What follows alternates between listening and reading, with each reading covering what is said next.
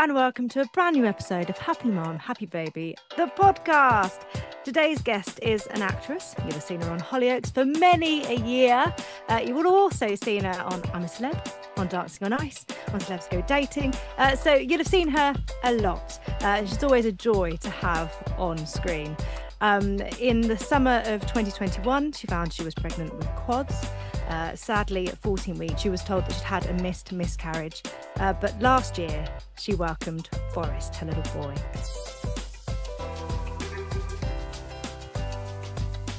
And here she is. It's Jorgie Porter. Hi. And also, can I just say, I am a big fan. Obviously, I was listening to the podcast throughout the whole pregnancy in the car when you can still reach the, you know, the steering wheel.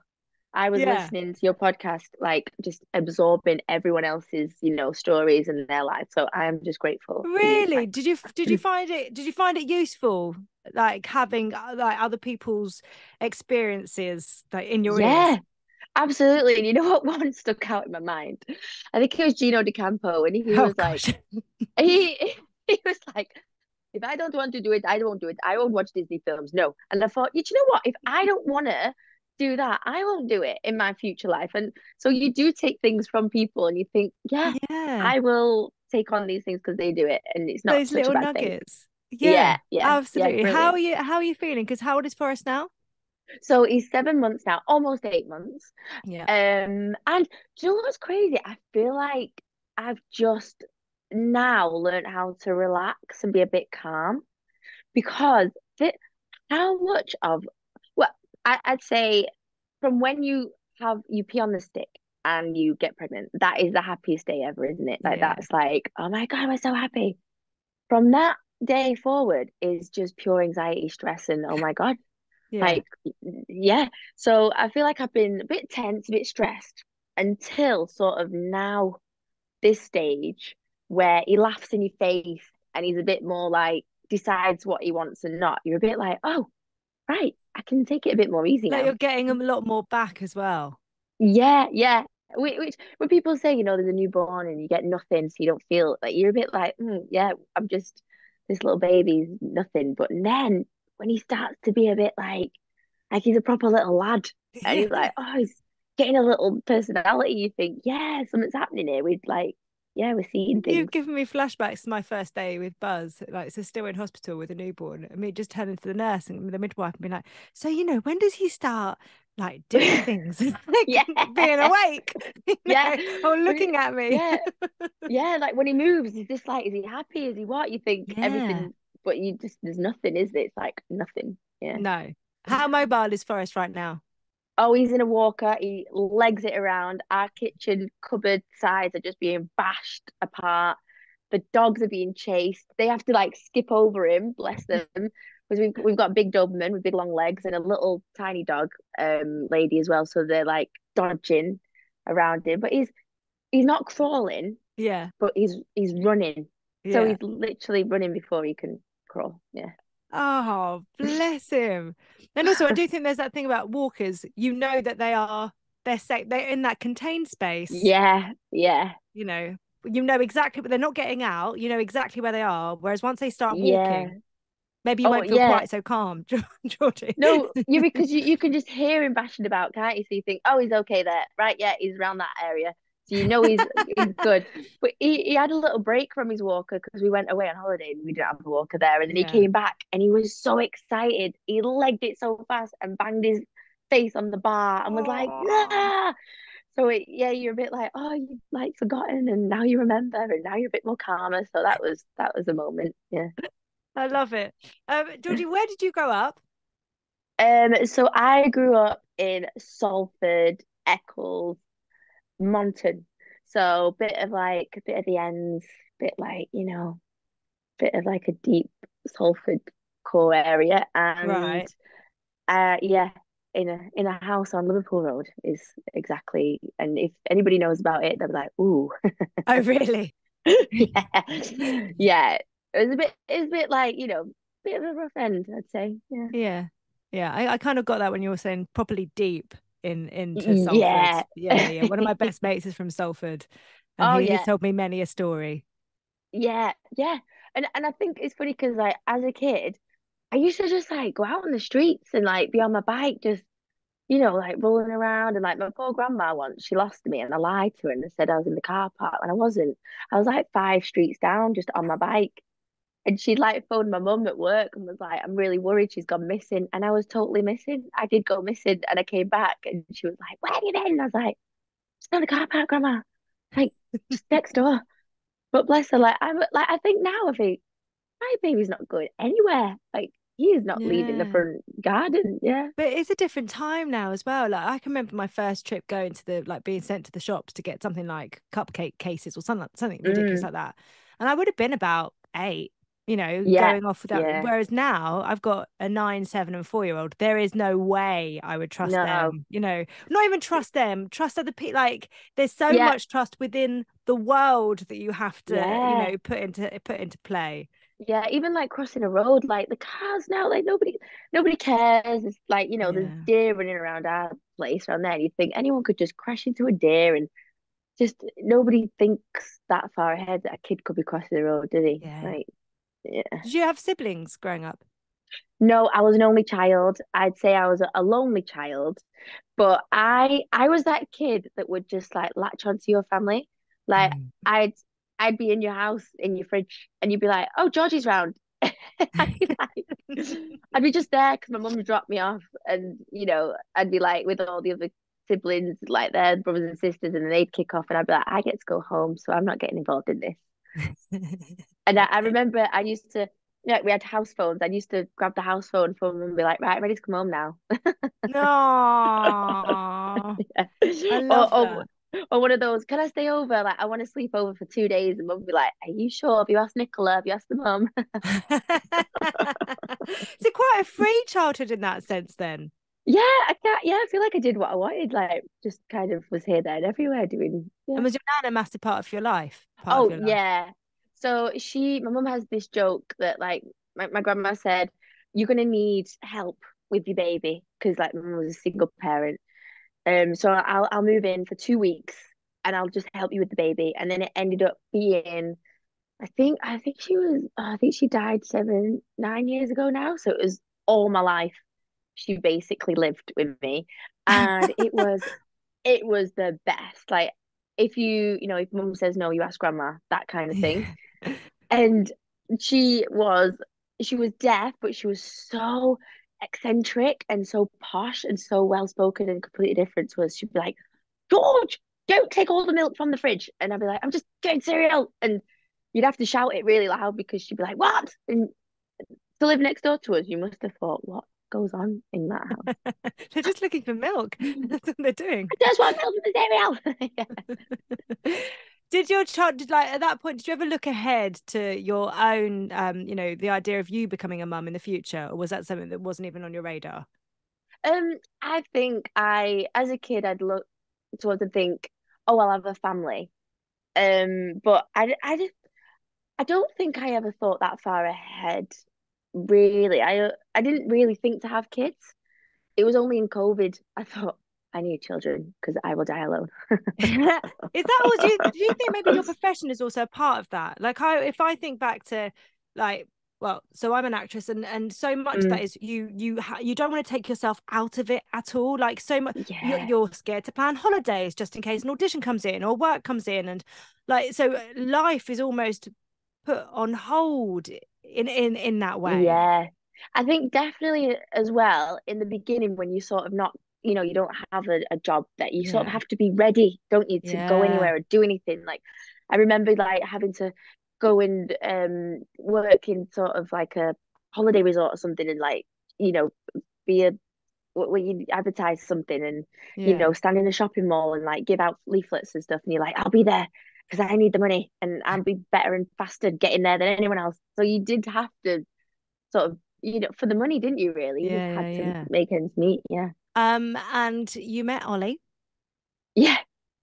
We, how, this did a- you meet my story's different to his. Is He'll tell it? you a completely different, yeah, take on. Well, I think men's visions are different to women's anyway, and mine certainly was. Um, it was in a nightclub in Manchester, sort of in my days of partying, like going out, young twenties. Um, I'd say about maybe eight or nine years ago now. This was our first meet. Um, and I remember this vividly. I had porn stars at the bar and I turned around with them and he was at the bar and he was like, You're fit. Can I have your number? And I was like, "You know." Because then I was like, Obviously, you know, we have Hollyoaks, so you're just, yeah, that's all you want. And I remember walking up, I remember him wearing like a green shirt, open chest, a chain on his like neck, and me just being like, Oh my God, you're too slick. Like, no. And then I think I remember him sort of asking again, I like pestering is what I would say. Yeah. He wouldn't he wouldn't say pestering.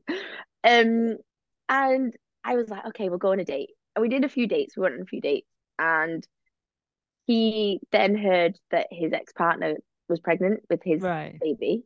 Um, and this was before we were dating. So I was a bit like, oh, this is Mm. a lot. This is A too lot, much yeah. for me. I'm in the partying zone of my life and I want to go party. He was like, You party too much. You have people around you that are not really your friends and stuff. So he was seeing sort of like things like that. And I was like, Whatever, see ya. So we sort of separated.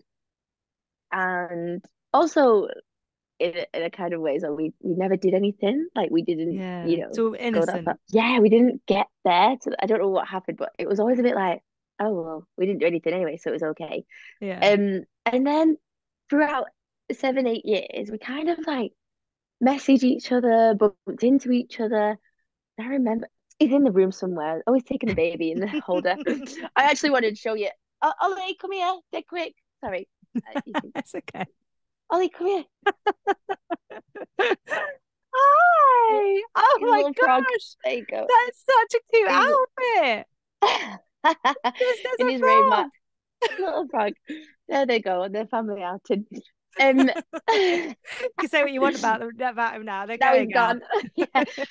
yeah, so seven, eight years in between, we were messaging, so and I'd always be like, "What do you want? Like, what's your intention? Like, why, why are you messaging me and then we won't meet up?" So and like you said, it is such a massive thing. I think when you're when you're in a show like that, especially in Hollyoaks, and you're going out around that area, you know, Yeah. you, you have to you have to be cautious about why people are approaching you, what their what mm. their intentions are. And actually, he had noted that about the people that were surrounding you. You know, Yeah. questioning their intentions. Yeah, yeah, yeah. And and I- actually, I I did date a few people that were all about that, and that was like, you know, you find out afterwards, and you're like, it's embarrassing and cringy, and you just think, Yeah. oh. I think these eight years, we both sort of went off and did our careers, and like he Yeah. did really well in his career, he worked his way up in his property life, and I went to move to Hollywood and did everything that you could imagine and failed miserably, but it was quite funny. Adventure. Um, yeah, this is crazy adventure. And I think, and then we, you know, got with other people as well. So we got that out of our systems. And I remember bumping into him as well in a hotel that we both loved, the Bloomsbury in London. And I looked at him and I was like, oh my God, he is hot. Like he is got real like hotter than before. So I was a bit like, oh, but he was with someone, so I thought, right, okay, nope, that's good. Goodbye. Um, and then towards the end of COVID, when we were allowed in pubs, like with other people, sort of thing, when you're allowed to have other friends, um, he said, Do you want to go for a coffee? And even then I was like, What are your intentions? Like, why are you talking to me now? Like, what do you want? Because I'm a businessman, I'm very busy, but I'll go for a coffee with you. And I was like, Oh, and I remember I love how much uh, is going on. just, I, just- I and I remember that feeling of being like, you annoy me, and I'm thinking, why do you annoy me? Because I don't even know you anymore. So we went to this pub, and I think I had like one glass of wine, and I remember him picking me up, and I was like, oh my god, he's and I. And this is funny, and I talk about this all the time. And I wore these stupid plastic wedgie shoes that I bought in COVID and a, in a moment of madness. Because you do, don't you? You just It was buy like, those you weren't going anywhere. I wasn't going anywhere. I thought these were cool. And then my one day out in these shoes, he was like, What are those? They are disgusting. And I thought, Ah, ah, annoying. And then we sat there and he was like, So what's your life? And I was like, Dating guys. And he went, Well, you can't date guys anymore. Like, I want, and honestly, God, it was weird. Something just hit us and was like, You're the one. And I was like, Oh my God, I fancy you massively and I really want to have your babies and get married to you. Inside, obviously, I didn't say that out loud, but had you had that? You know, you said earlier about COVID had changed your perception of babies and when. Had yeah. that had that been the catalyst, or had it been sort of starting to build up before that? Yeah, I think you're right. I think it was, you know, going inside, like it was creeping in of like sat looking out the window, thinking, I'm gonna die alone. Like I need to have children. Um, I don't have a big family. I don't have any brothers and sisters. Um, and so I, I think that was creeping. And then I think when I like when we sat there and spoke, I literally was like, oh my god, this, yeah, he, I will dump these men for you. They're all dead now. These men are dead. and um, and then from that day on, we have not separated and not parted. And it Does was is his account the same of that day? Yeah, his his account is more like um like I've you know I've got an eight year old kid you have to you know you have to get on with him and that's there's more rules I think with yeah, him. yeah yeah. Uh, you can't wear those shoes ever again. Yeah that kind of thing like so yeah i think that was his his take on things are a lot different which i find brilliant and funny because he's just so honest but yeah and then it was crazy because from that day forward we were hanging out together going to each other's houses and it was like we needed a house together we we yeah. kind of made mature adult decisions from then on forward. And was that it was it all happening really quickly as well? I'd say it was, but also because we knew each other for years beforehand, it yeah. felt like we already knew each other and that we were sort of instantly busy mates. Like it yeah. was mental. It was it was crazy that everything he said, he was like, you know, you don't have to agree with everything I'm saying. I was like, no, I do agree because we actually get on and we like the same things. I was like, I will tell you, and I don't like something, but right now everything we like is the same. Yeah. So yeah. Hmm. There's also that thing that when when you meet someone, when you get older, you kind of you're when you meet someone you uh, you know you throw everything at it rather than when you're younger yeah. i feel like you don't really it's all i don't know it things take a lot longer when you're younger whereas when you're yeah. older you don't you don't wait around yeah, and I think when you're younger as well, you sort of are thinking, "Oh, is the grass greener? Like, is there yeah. something? do I need to complete my life doing this? Do I need to travel?" Or whereas, yeah, when you like, and you say when you're older, you sort of think, "Actually, I've done those things. That doesn't entice me anymore to like go crazy or do that." You just kind of want to find someone to belong to. I think. Yeah. yeah. And when did you start talking babies? So this was a weird time actually. I think I do things quite like, you know, out outwardly crazy. I remember we were leaving the house. I was going to work, he was going to work, and we were leaving his house. And I remember going, Oh, I forgot to take my pill. And I ran it like I was in my bag and he was at the door trying to like lock it, like, come on, you need to leave the house, we need to go. And I was like, Where's my pill? So I took it like in front of him. Yeah. And I just was like, and then I thought, Oh, that was a strange feeling. Like I was taking a pill in front of him that's going to stop us ever having a baby. So as I was driving to work, that moment I was like having this revelation. I need to. I'm going to tell him. I'm going to ask. I'm not asking, but tell him. Should I take the pill anymore? Like, are you okay with me? You know, how do we feel about that? And it was a moment of. Then I went to phone my mum and go, Mum, what do you think about this? Like, should I take my pill anymore? Like, I mm. find Ollie is the best. And she was like, well, yeah, he is great. He's amazing. Yeah, he's pretty, you know, he's the best you've ever, you know. And so it was all these moments. And then I think I found Karen Richardson at work and was like, Karen, I think I want to stop taking the pill. you must be like, okay. so yeah, there was these moments of like this penny dropping. And Ollie was like, well, okay, if you feel like that, I mean, I yeah, and that, that was the moment of us think connecting and clarifying that maybe we do want babies together because he he sort of said, "Well, I do want children with you because you know you're pretty good with like my son," and I was like, "You're you're amazing, Dad. Like you are incredible." And so yeah. I was like, "Yeah, this is yeah." So it was from that day. from that day, and then how long were you trying for before you fell mm. pregnant? So then then you get an app and everything, don't you? And you oh, did you do all of that stuff? Yeah, because they teach you at school that it's like you know you look at a penis and you're pregnant, and really it's like there's a science like, to it. yeah, you think actually no, you've got to be ovulating on this time, and that can only happen then, and you know the, the semen's in your body for five days, and possibly that can happen, but so you, you do sort of then go on like this crazy like whirlwind, don't you, of like becoming a, a baby maker. Yeah, like, yeah, yeah. like you said, like I. I love the fact that you've gone from I'll just stop taking the pill to now Yeah. I'm downloading the apps. Ollie Yeah. must have come home and gone, oh, okay, but that's where we are. Yeah, and also, you know, you have to lie on your back with your legs in the air for half an hour. Like there's so many things you have to do in order to have like make this. So it it was like a good few months, I think. Um a good few I, I count months by the periods. I remember having Yeah. like maybe three periods or something. And so and then eventually we got oh I remember one time of being super horny, like really like ah and obviously now we realize that's because you're ovulating and the woman has that inner to, and I remember like again, again, and he was like, "Whoa, this is the best day of my life."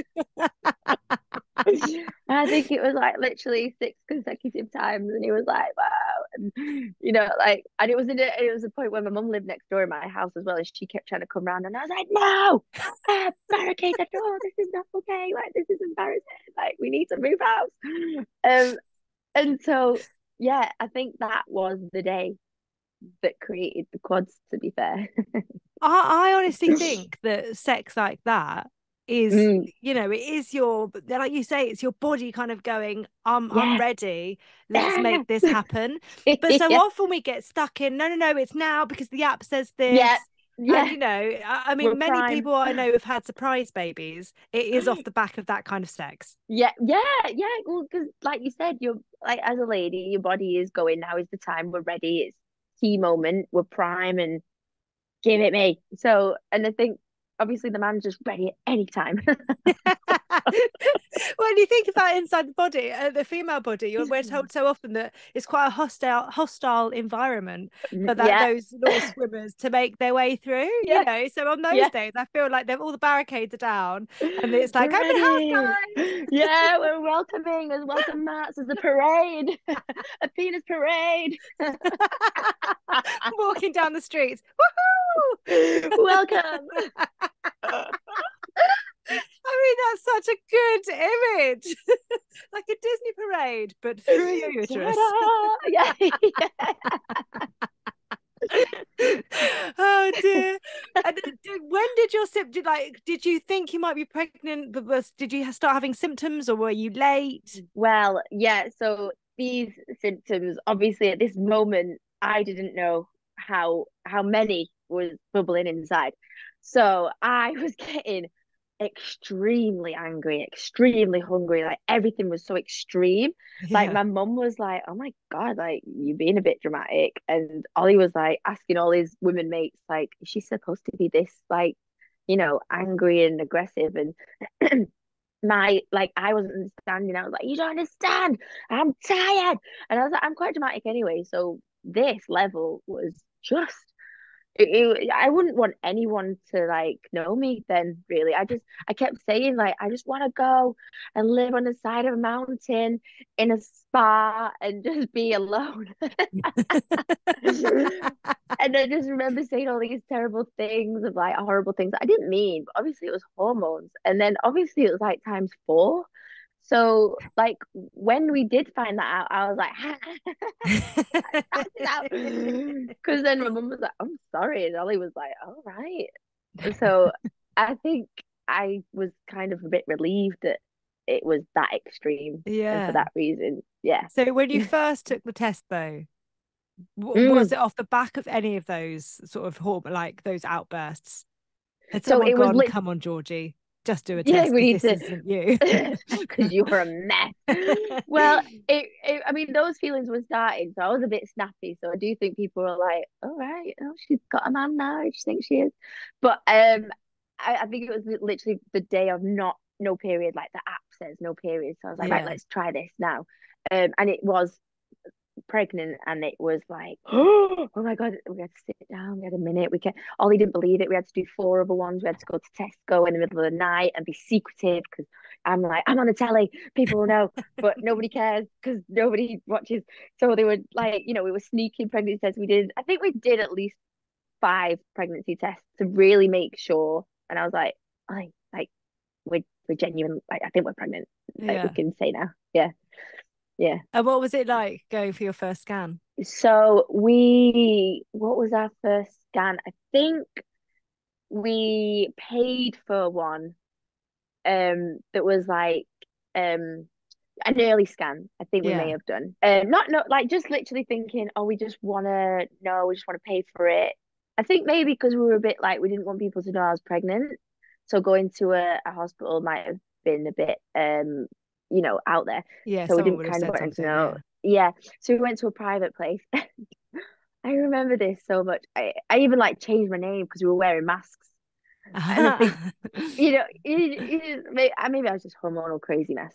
Um, and so we went up to the the room, and the lady put the gel on, and she was like, "Oh," and I was like, we sat there, and Ellie was next to me holding my hand, and there was a big scream, and we lay down, and she was like, like not speaking, and like just like rubbing this like thing on my belly, and was like. Uh, hmm. And then like back to a computer, like diddle it, and then like back on me, and then like diddle it, and she was like, mhm. and then she went, right, I need you to go to hospital, and we were like, all right, okay, yeah. It She was like, like tomorrow, like, can you can you go as soon as possible? And we were like, oh right, oh this is. Did you think was like, something was it- wrong by this point? So she was. It it wasn't like she was being sad or anything. It was Yeah. like she was just confused. Like she'd she said she said I've never seen this before. So I was like, right, what? So she does she so she she wasn't like saying, "Oh, this is something." She just said, "You need a second opinion, but an um a proper one. Like uh, you need to go to hospital." So, and on the on the screen there was like three circles and a big circle. So Right. obviously I'd never seen anything before. So I was like, "Right, that must be my womb," or like that looks like my like it looks like you know the canals of your heart or something when they show you Yeah. that scan. So I was like, "Oh wow, all these circles. That's cool." So then we booked an appointment for the So hospital. Did she say triplets to you or anything like at that No. point? No. She Okay. didn't even say anything like, oh, she said there could be three Right. things here. So we, yeah, so that And was also it. You're right. Yeah. things. You've got three puppies in there. Well done. got three little dogs. so she, yeah, she did say, I can see three sacks. That's what she said. Sacks. Right. I was like, all right, sacks. What a sack. So she said, there could be triplets. So Ollie lost his mind. He went, whoa, what? He went pale. He didn't speak. I was like, oh, wow, triplets. Jeez. And I remember leaving that room being like, whoa, that's a lot. Like, that is a lot. And he was like, we have to change the car. Like, I can't, I can't drive a car that's bigger than, I don't want to drive a minibus. So he was more in the minds of car, like, I'm thinking, Yeah. yeah, like he's thinking we can't really afford three, and I'm like, whoa, three, okay, that's cute. So then we get to this hospital the next day, and the woman literally is the, like the same, like scan gel, moving this around, uh, puts something that like I think she- I don't think she put anything in. Don't know what, how she measured it, but she literally was on her computer for a good half an hour, like really long, and we're all silent, and we've all got masks on because we uh, you just couldn't see anyone's expression as well. So we were Yeah. like, so okay, what like what were you hearing? So and she turned to me like and was like, so we've I've actually counted four, literally Ollie like he literally lost his mind in silence, and I was like, four, four, and then I was swearing, I was like, I can't hold fucking four. I was like, I'm too small. Like, I didn't shut up, and this one was like, mm-hmm. and Ollie was like, in a trance. And so then we left with I think a picture of like four circles and like a big little dot in a bit. It was just really complicated, really hard to understand. And we literally walked out of that place like, wow, like four, like we we didn't. I don't know if we were to be happy or sad. Like we didn't know Yeah. how to be. Well, because I imagine you don't know anyone that's got quads. And that's the thing, like I had nobody to connect with, talk to, to say, so how do you deal with this? Like what goes on here? Like what? And so then we had to like Google everything and like and, and by this point I'm so huge, like you could see my boobs from the back. Like I my belly was massive already. Like and I thought I will just be a vessel of you'll have to put me on a cart carry me around. Like, there's no way I will be able to. Like, my body's just. I'm five foot two and like a pindly little toothpick legs. Like, I'm just. So there was all these thoughts going through our heads of like, wow. And obviously, Ollie's like a minibus. I just can't. Did you tell your mum? Did you tell your mum? Yes, and my mum. my mum was like, yeah, right, four, it's going to be four, right, I will take them all swimming. I will, I've knit them cardies. I'll start now. Like she was well in to four. She she was excited. Also, though, I I wonder for your mum because your nan was such a massive role in your life because your mum mm. was single, you know, single mumming and taken on all that all of those roles. There's something about grandchildren that makes you go, well, I'm going to take on this role now. Well, yeah, I mean, she did at that point. I mean, now I'm like, Julie, remember your training. But like, she she did think as well because she was one of four. So I think she saw it as like, wow, all at once, four. Yeah. So she, I think she did initially think, right, I'm gonna. But I was thinking, I'm gonna have to give them away at Christmas. Like they're gonna have to meet when they're 20, like have this reunion. I'm like, who loves babies the most? They can have one. Like so because it, it was a bit of a jokey thing as well, yeah. because we were absolutely in shock about but like like overachiever, like everything like and because there was four and your body was changing rapidly because Rapid, of that. Yeah. Did yeah. you have to tell people like work like you're being on set and all yeah. of that stuff. Yeah, you're so right. So obviously, it, because it was changing so fast, like you said, it, you know, you there's a time limit of in your life where you tell people, oh, yeah. you know, so um, just what people do, which I think we should change that. But um, so I had to pull people into like a changing room. I remember pulling the head of costuming and just going, right, so I've got a situation. So I'm pregnant. And she was like, oh, yeah. And I went, hold on. No, no, no, no, no. So, but um, there's a thing now. It, it, it, like it's quite early on. She was like, "Oh my god, Jodie, this is amazing!" So happy. I went, "No, no, no." So it's still, it's not one, it's not two, and it's not three. And I kind of relished a bit in the way of like telling people because I was like, it, I needed the build up, like yeah. working in telly. You know, you need the build up, and I was like, "It's four. and they were like, and they, they didn't they didn't like go wow they all went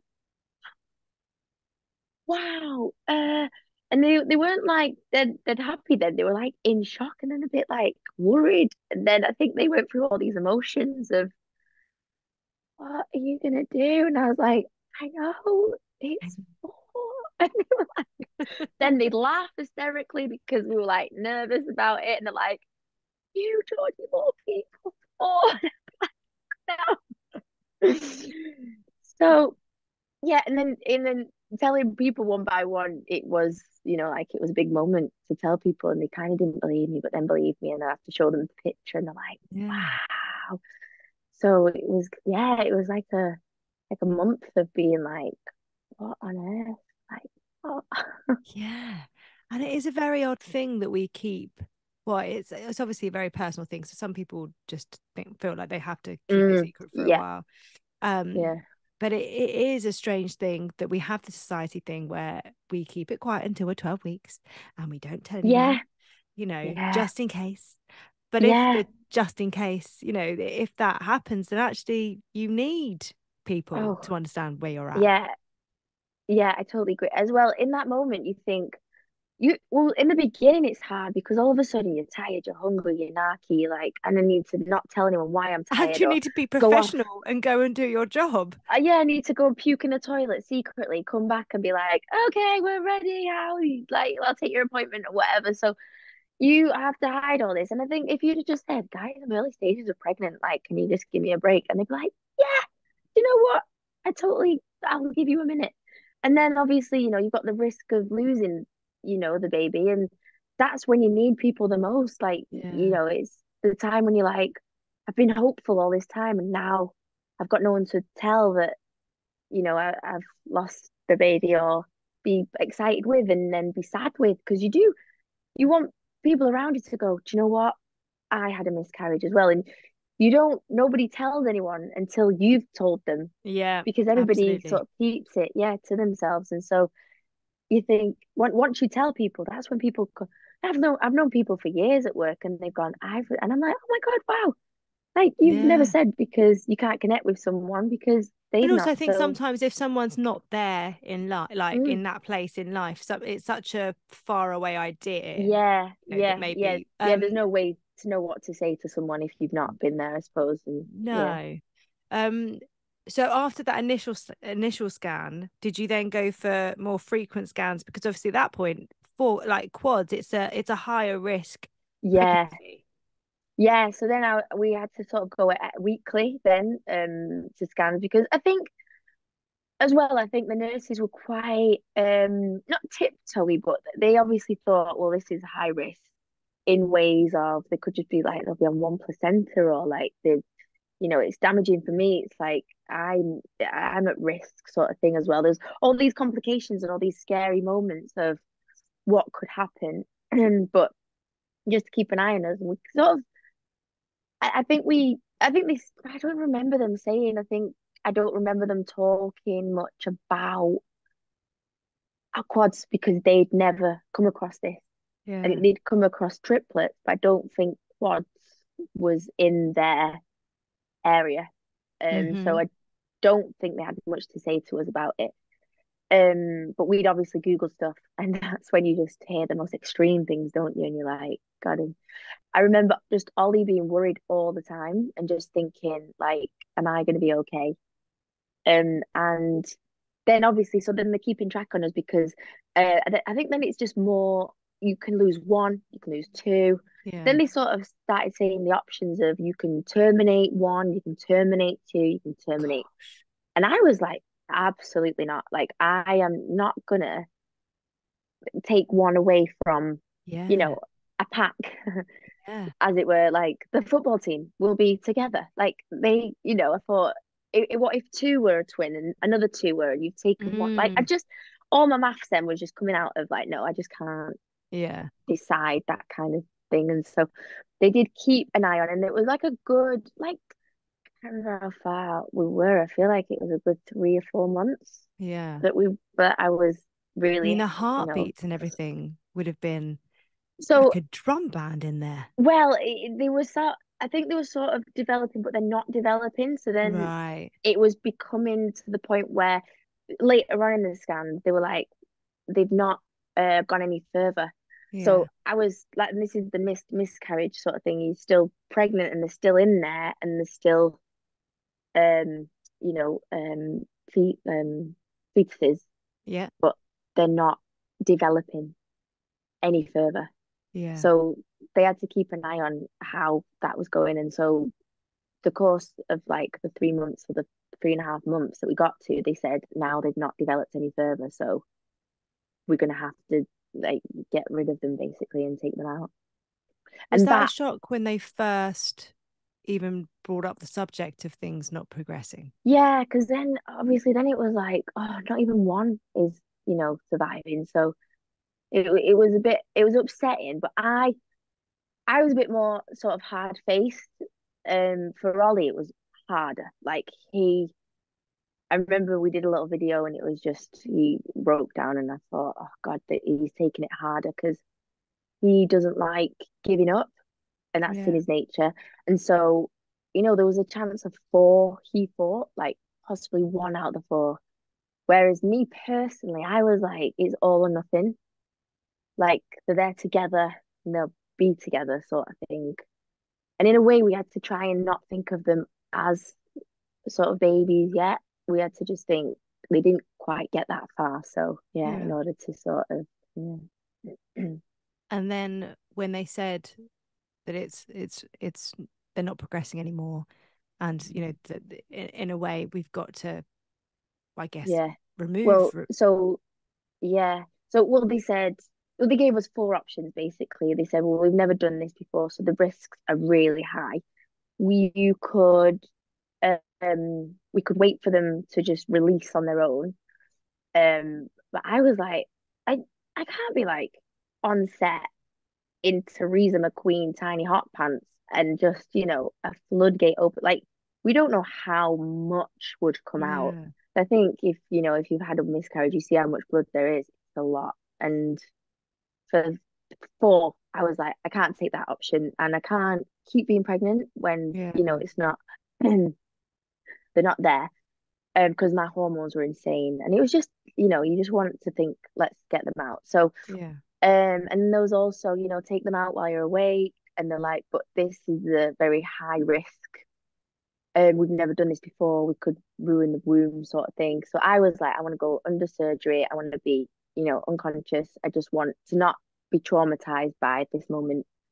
Um, and I don't want to know what happens. And so, the, but then they had to talk to us about how really dangerous it is. Like, you don't know how much blood I'm going to lose. And this was like sort of really sad for Ollie as well because he was like, God, this is really scary. Like, Yeah. you, you know, they were like, there's a chance you might not survive. And I was like, "Jeez, God, okay. So we kind of on this day was like extra sad because nobody knew what was going to happen and how it was going to be. And Must have been so um, scary. yeah, yeah, it was really scary. And also, we wanted my womb intact as well because obviously we still want to try for babies. So they were like, there's a chance that the womb might be, you know, um, scraped or something, so not Mm. damaged. Um, and so it was pretty, yeah, pretty massive, daunting day, really, this day.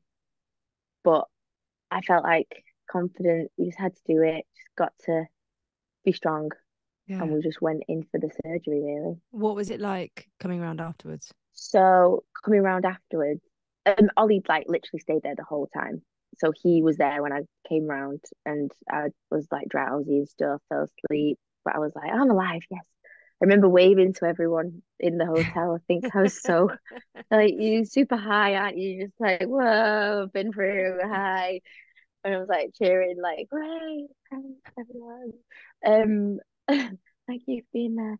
Um, and then I had to go straight to the toilet, and I remember grabbing Ollie and go, "Come to the toilet with me," and he was like, "I don't do well with blood," and he, like, I made him come to the toilet with me and everything, and I just thought, right, look at this, and he was like, "Oh my God, there's a lot of blood," and I was like, "Whoa, what's this?" And I thought, we're in this together, like we see everything together.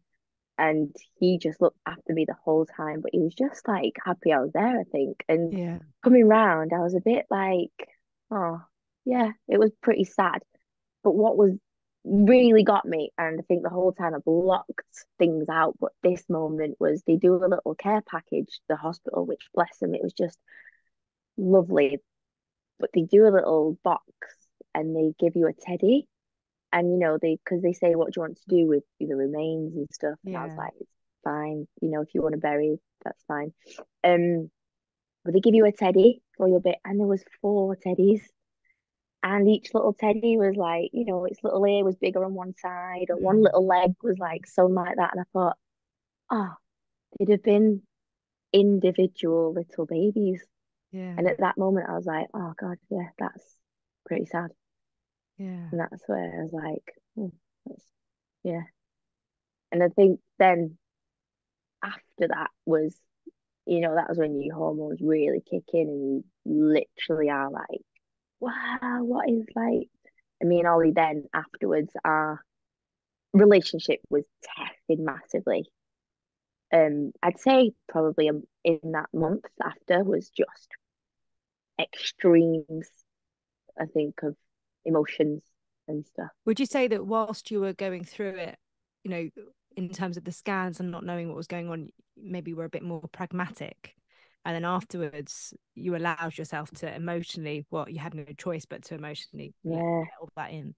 Yeah, because I think as well, you know, as a woman, you give, you know, like you have a period every month. You think, oh, that was a period that could have been a bit like a Yeah. miscarriage or a baby. You just think, mm.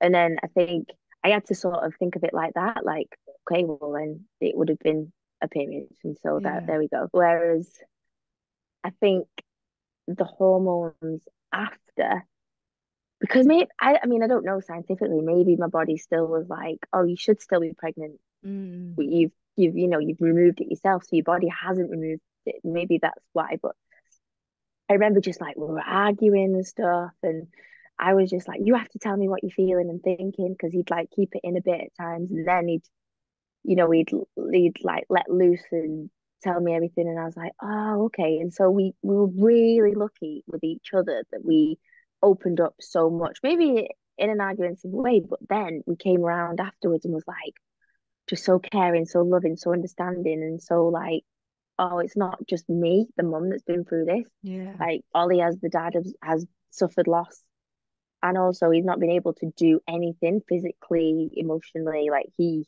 didn't have the. It's a you know, very pain. helpless position to be in. Yeah, yeah, yeah, and and so he felt like he couldn't say anything at the time, but now I was like, you have to because you are part of it. It is partnership. It is team thoughts. So yeah. Were you able to take time away from from work and commitments? I, I think I had a, a few. Yeah, I think I had a few weeks off. Um, I don't think I wanted too much off though, because I think I, I needed to go. Well, do you know what? This I need to get back into life, and Yeah. It, this can't be my reason for living like this. You know, yeah. There's, I mean, it's happened. It's you know, things to uh, say to other women what we've been through. I mean, I'm still waiting for a quadruplet mother to talk to me. But Have you not found one me- yet? no, I, I I have met quadruplets, but I'm like, where's your mother? Like, tell me what she went um, so yeah, and I, I I didn't want it to define me as a person, Yeah. but I do, you know, I'm it's an extreme thing that I And also about, so. you you see the power in sharing that. You know, Yeah, having yeah. someone speak about the fact of going through a mis- miscarriage and what that does to your body and emotionally and and I think um it's a very it's a very lonely grief because Yeah. because you're told not to tell anyone until you're a certain amount of weeks pregnant and then so when those massive things that you don't even know you don't know the vocab around it you don't know all those the lingo so when those things are being thrown at you it's all really overwhelming and yeah, you have that that high of something that you've wanted and you've achieved and then all of a sudden there's a crashing low and it's so tied in with all those dreams and hopes that you have for your future that is no, now Yeah. looking different yeah. You well, you do start to plan, don't you? Of like Yeah. what you know, what they could be, what the names are, things like that, and you, then you think, oh, we need to put an extension on the house, we need to. we need helpers, we need carers. I need a carer for me. Like I would have needed a barrel to be put in to be put on an offset. So yeah, you do sort of that is the you know the, the ideas you start to think and then you go, oh well that's gone. But then I think it was great with Ollie because then we went, right, well now we can go on this holiday and now we can do this. And now we know that we had we had it and we lost it. So now we know we want it. So yeah we were even stronger together and even more into like having a family. And and I was like, that mean we can have four then? And he was like, absolutely not. Like, let's just try. I still don't want to chase the car yeah, so like I've got a lorry. We could have a lorry. Like we can literally a camper van. so I think things like that puts you in your mind of like, well, okay, now we know as a couple that we did want it so hard and we were ready for it. So we can still keep trying rather than, you know, thinking, oh, that was the end. Yeah.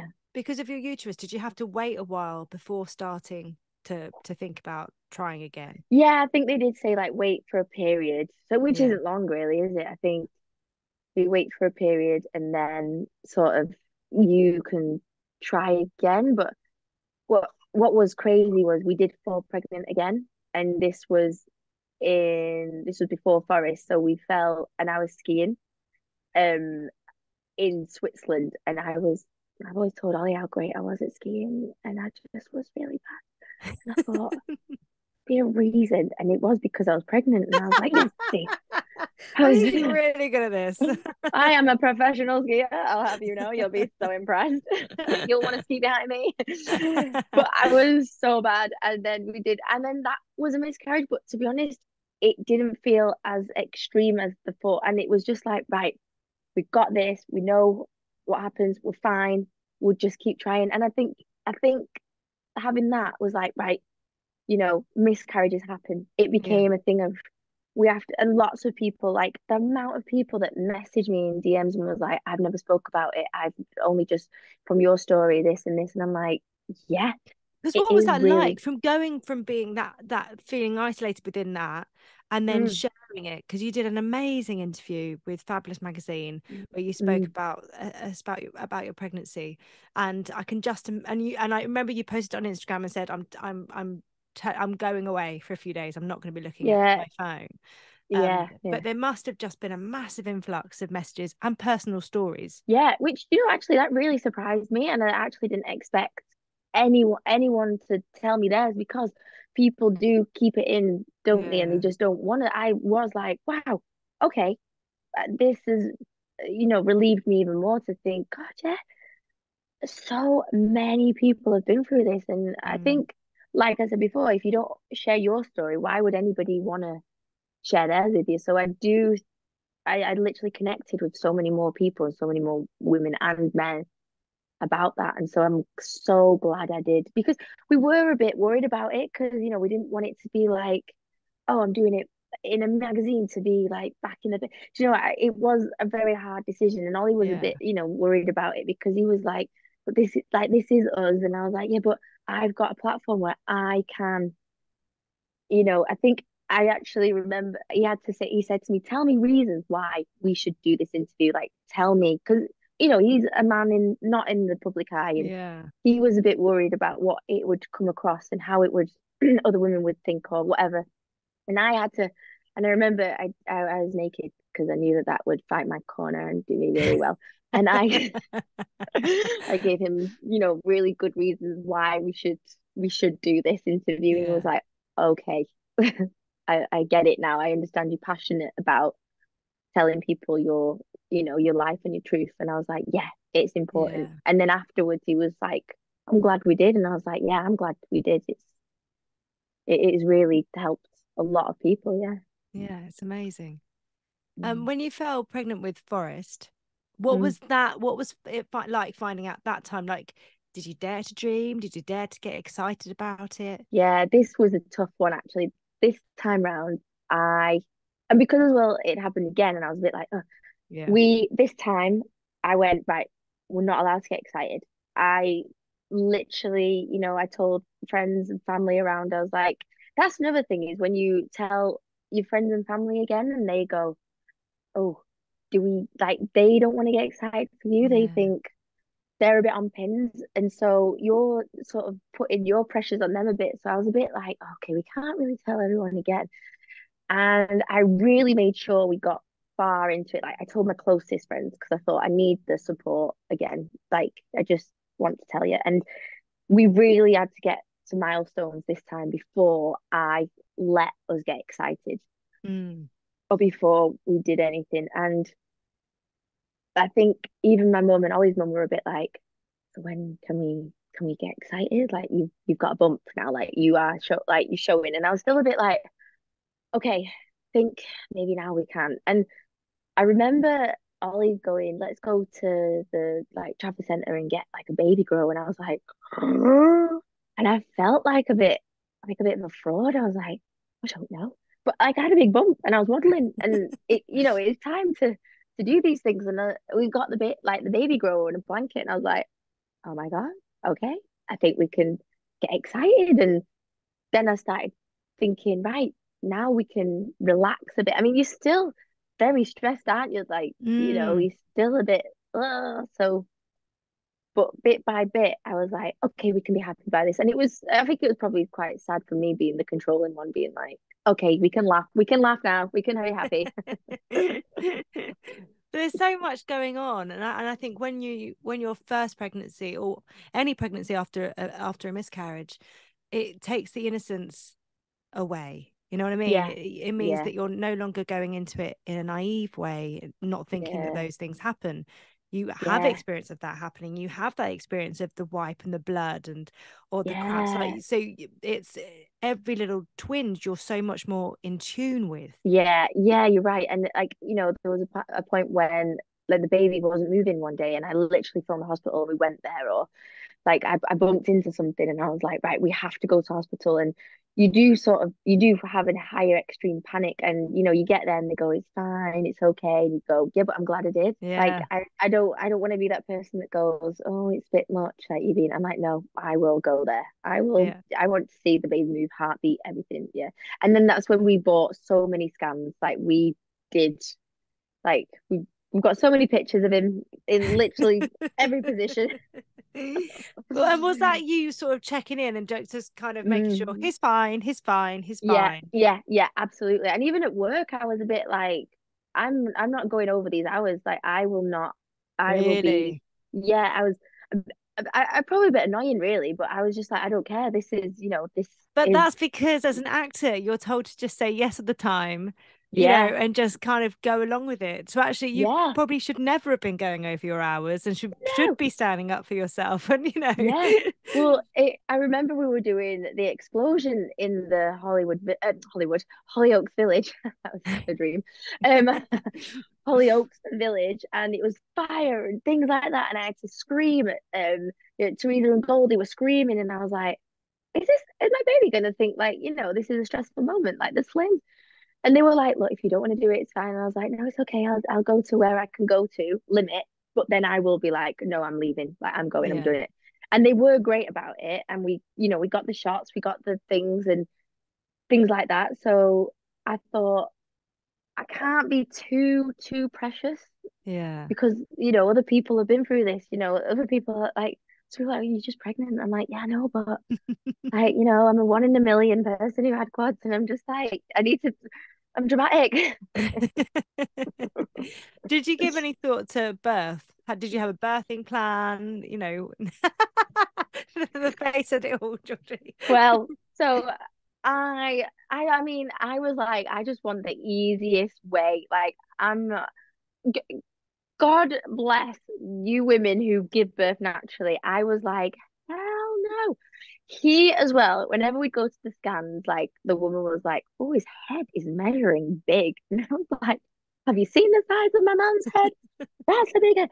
And his shoulders were wide. And I was like, Is this wide shoulders? What even does that mean? And I was like, My hips are not even like that big. So I instinctively straight away I was like, I need an elective C-section. Like I can't even bear.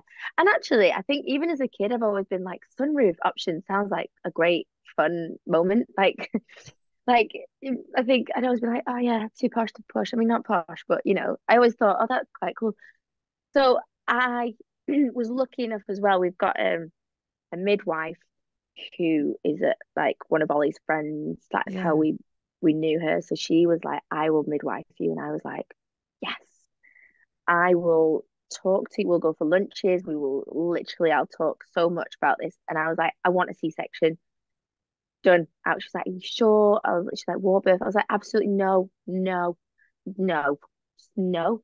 Mm. And obviously, you know, you have to say, and I was like, no, my mental health and my anxiety cannot, you know, be at that moment where what if And something also, you'd happens gone or through so much to oh, I've get to that point. much. Was part of it also eliminating risk and just kind of going, I know, and, yeah, and taking some control because so much of it had been taken out of your hands. So kind of going, yeah, this is something that I can control, yeah, and that makes me feel like I'm in a safer place. yeah. I, I I definitely think that is the case. I have not been able to control any emotion, feelings, anything like that. Keep a baby in. You know, it was just too much to think I'm going to learn to breathe again in a way that will help. You know what I mean? I'm like Yeah. reading these books, mindful pregnancy, and I was just like, I, can't, I just can't.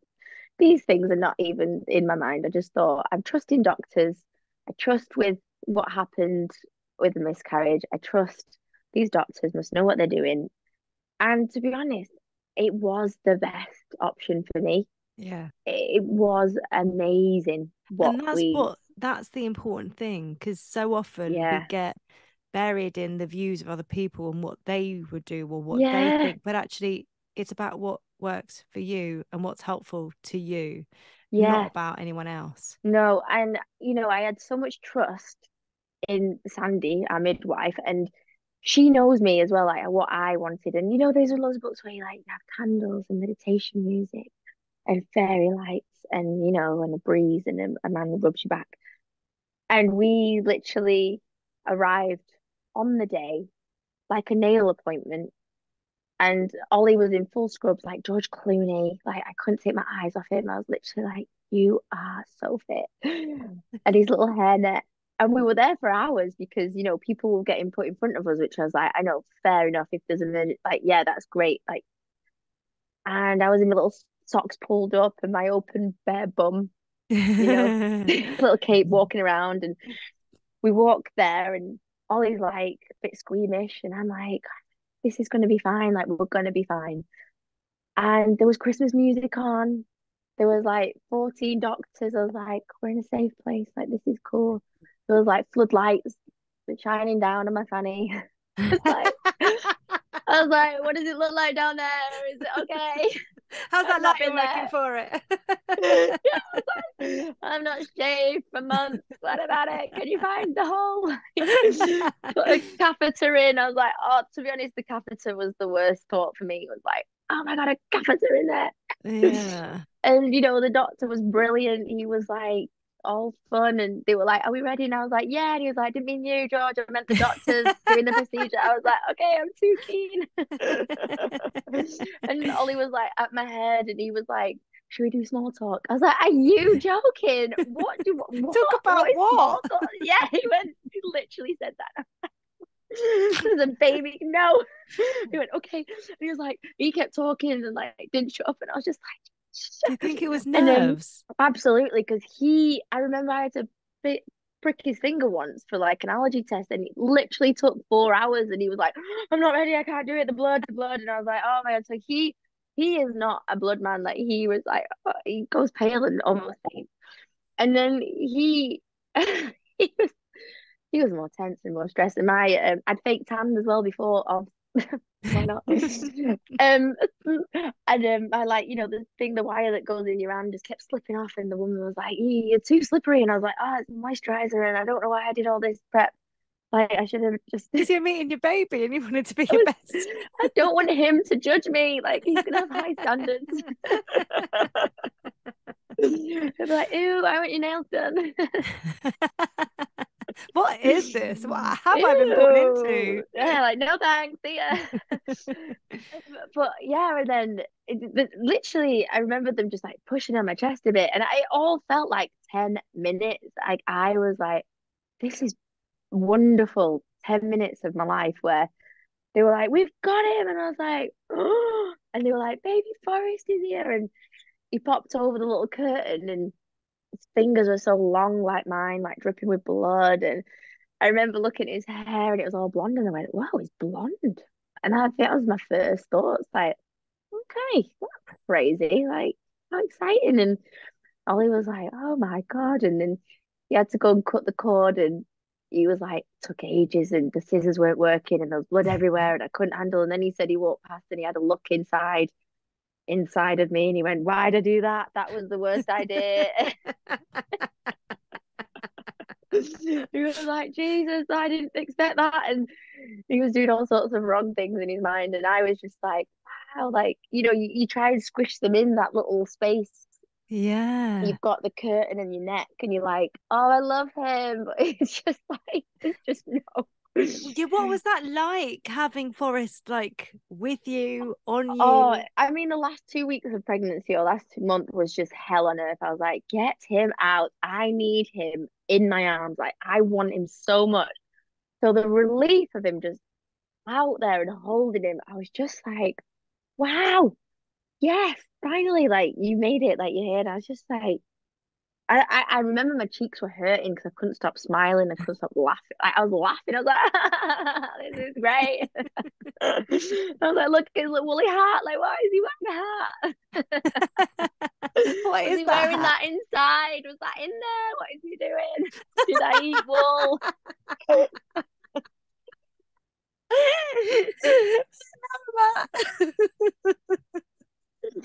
was there a sense of um of everything that you'd been through, like, did it feel like it was everything coming together? Like, did the, the arrival of Forest make you reflect on everything? Maybe not in that moment, but Mm, do you think yeah. that was a part of that laughter and that those smiles and Yeah, the emotion that you would have de- felt? I yeah, I think the relief of like him being there after so much had gone on was like a bit of a hysterical moment, probably like probably transformed into like a ah like a relief and like a like hysterical laughter. But uh, yeah, I think as well, thinking like just I, I, as well, I didn't remember instantly loving him. It was an instant relief, like Yeah. of like going, "Oh my God, thank God you're here! Like you've arrived." And it was more like, "This is what you're meant. Like you're meant to be forest It's meant to be you. Like it's meant to be him." Yeah. Yeah, and that made more sense, I think. Yeah. That's beautiful. Mhm. How was your recovery? So I remember the instantly being back in the hotel, um, hotel in You've the um, referred to it a hotel before. I'm like, I'll go with it.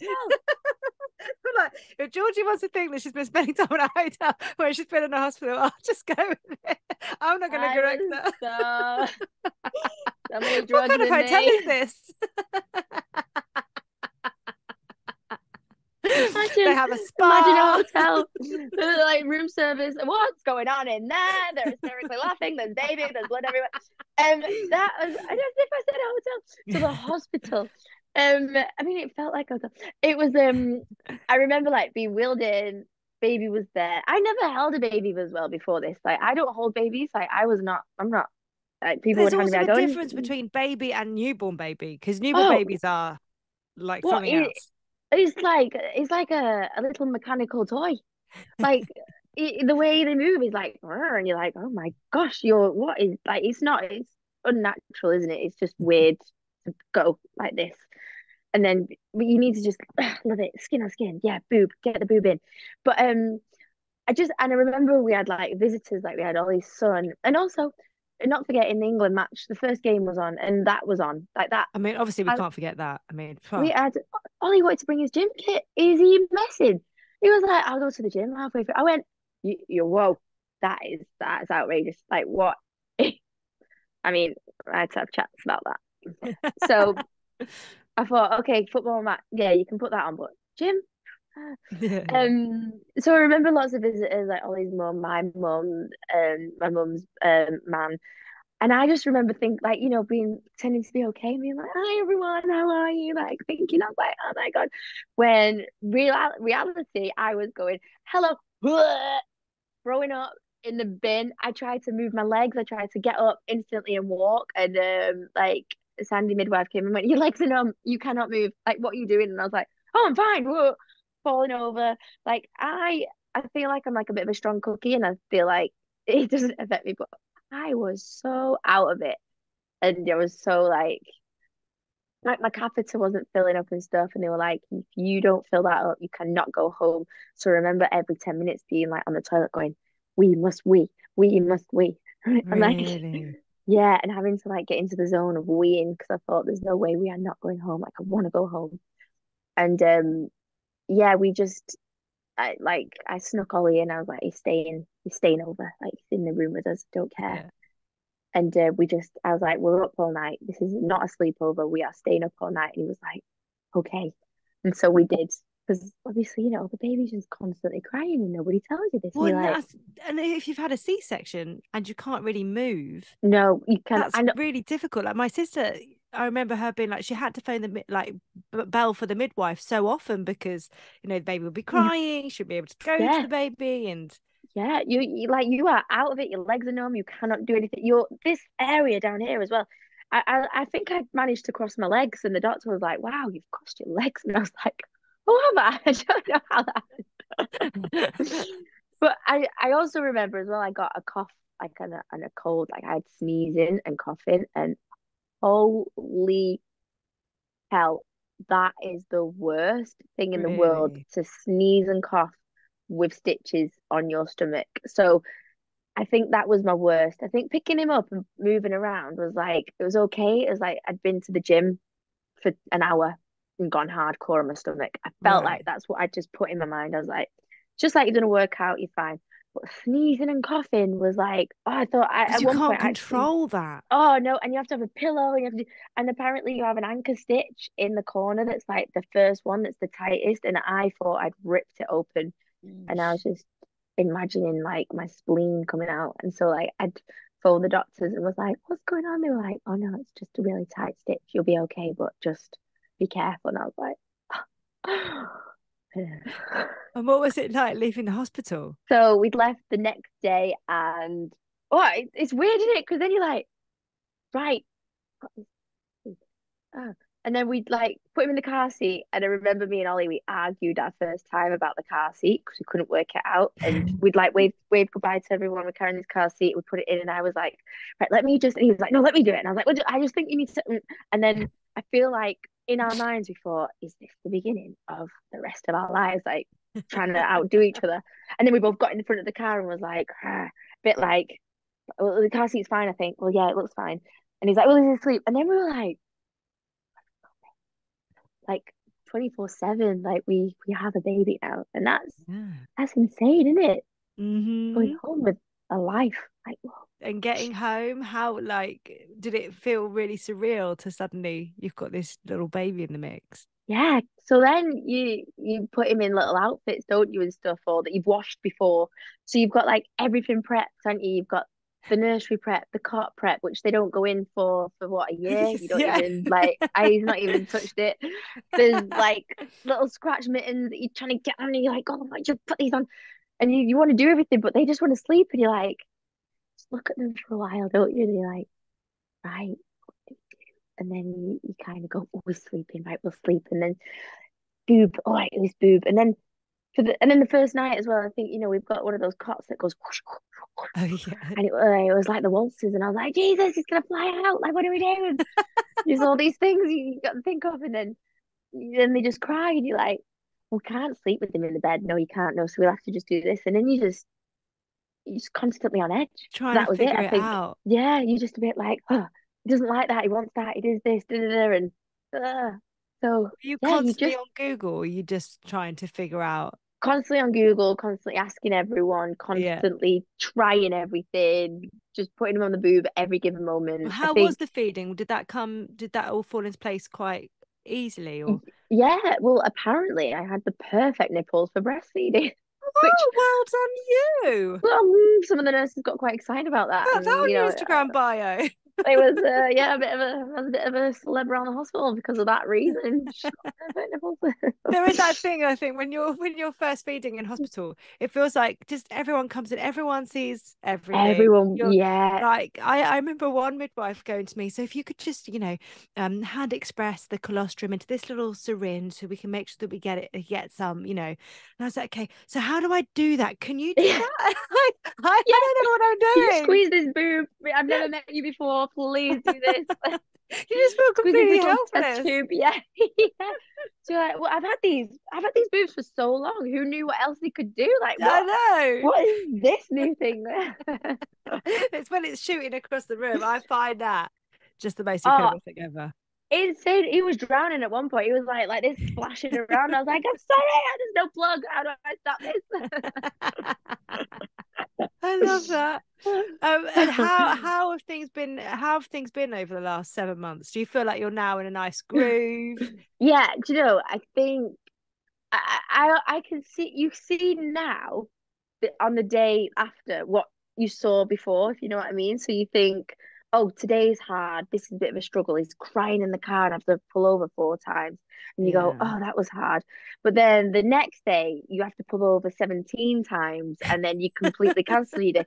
So there's like things like that that you learn that you think that was bad, but actually no, he's like he's just pulled out a winner here and like done a bit he's got a bit crazier and you think, oh right, yeah, it can get a little bit harder. But like every moment I think I learned to just have more patience, just relax a bit more. You know, like the times with like there's the screaming and you think he's gonna be okay in a minute, like he can't scream forever. It's just gonna be something I'm not done yet. Yeah. And then when you do that one thing that you've not that you've done, you go, oh, there it is. That was what it was, and then it all comes together, and you just like, now he smiles and laughs his head off at his dad. By the way, which I'm fuming about. Like, I mean, uh, I'm the funny one. Like, I, I literally said, like, I've been to comedy classes. Like, you will, you will know this. Like, you, you were, you're an actress. Like, you're the funny one. What? How is he laughing at him? The funny one bit. you'll get your laughs, don't you worry, and then you'll have, yeah. you know, he'll be your biggest fan. Yeah. I'm sure. Yeah, he goes out the he goes out the room, and I try the thing that Ollie tried. I'm like, what did you do? Like, will you laugh with me? Have you started weaning now? He is, is totally in everything and anything. Like he is a little fatty. He so because well, there was a time like in six months, I literally said as well, I was like, hopefully six months, I don't want to breastfeed anymore. I just want him to start eating. And my boobs literally just nothing in them. I thought, oh, that's a bit cruel. Like you're trying, there's nothing there. Yeah. And we'd we'd sort of put bottles because my mum was looking after him for a bit, so she just did it, and I was like, wow, you accomplished a bottle. I I didn't even try. Um, and so he was doing that, and then he was getting diarrhea, so we took him to the doctors, and they were like, he needs food, he needs solids now. This is the sign. So I was yeah. like, wow, okay. And we literally tried him on, I think, like a bit puree food and whatever, and he just was like, oh.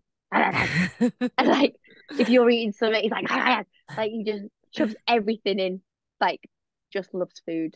I love this phase. I love it so much. Oh, he's, he's such a little like lad. Like it's weird. Uh, we go to like baby groups. I don't know if you know, like I mean, you notice like the girls are all prim and proper, aren't they? And they sit up nicely, and he's like, like just goes in all fists, and you think, wow, that is a difference. Yeah, it's interesting. It's interesting yeah. observing. I think. Yeah, yeah. If you could write a letter on motherhood, who would it be to, and what would you say? So I would write to my grandma. And because probably I didn't really appreciate her as much as a mother when I was a kid, you know, I'm yeah. just running off.